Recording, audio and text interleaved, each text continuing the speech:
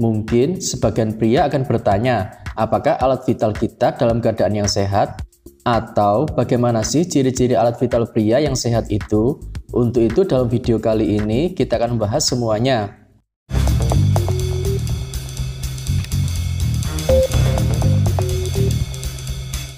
Alat vital pria dikatakan sehat bukan hanya dilihat dari performa ketika berhubungan intim saja atau memiliki bentuk yang besar, namun, hal tersebut bisa dilihat dari fungsinya sehari-hari.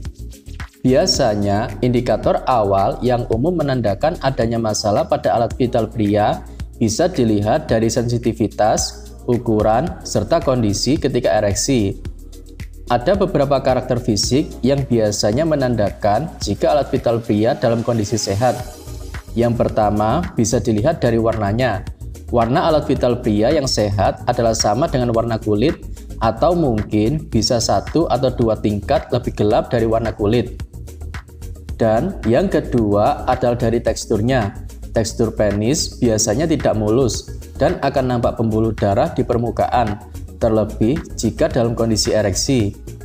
Dan yang ketiga dari ukurannya, di mana rata-rata ukuran penis pria Indonesia ketika ereksi sekitar 12 hingga 19 cm dan saat layu bisa berkisar antara 5 hingga 10 cm. Dan yang berikutnya, penis yang sehat bisa dilihat dari bentuknya, di mana bentuk penis yang sehat kadang dapat menggantung di satu sisi atau lainnya, dan kadang memiliki lekukan bahkan ketika sedang ereksi. Dan ciri fisik alat vital pria yang sehat bisa dilihat dari saat ejakulasi, Ketika pria mendapat rangsangan, maka bisa mengalami ejakulasi dan mengeluarkan air mani. Dan jumlah air mani yang keluar biasanya kurang dari satu sendok teh. Namun, hal tersebut bisa bervariasi.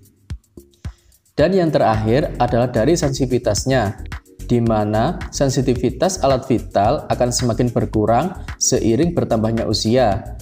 Sensitivitas ini berkaitan dengan terjadinya penurunan jumlah hormon testosteron dan terjadinya perubahan sensitivitas dari reseptor androgen.